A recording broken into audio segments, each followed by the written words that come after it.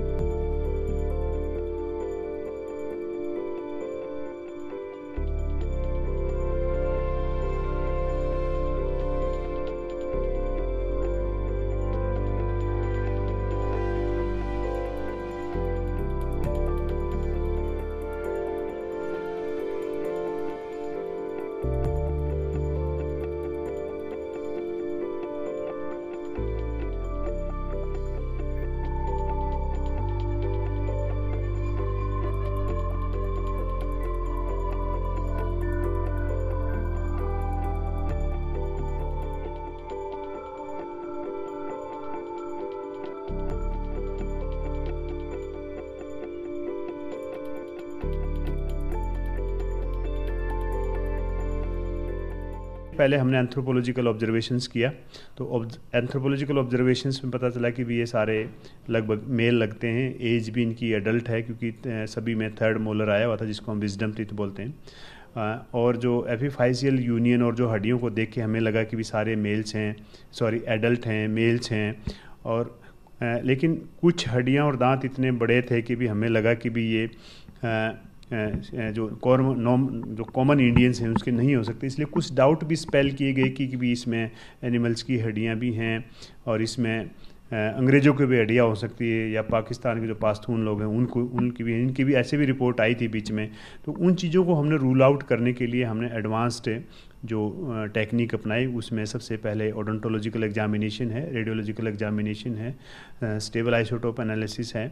और radio carbon dating है तो इस तरह कई एडवांस टेक्निक हमने अपनाई और उनमें सभी को अलग अलग एंगल से अपने जो रिजल्ट्स थे उनको कंक्लूड और कंबाइन करके पता चला कि भी ये आदमी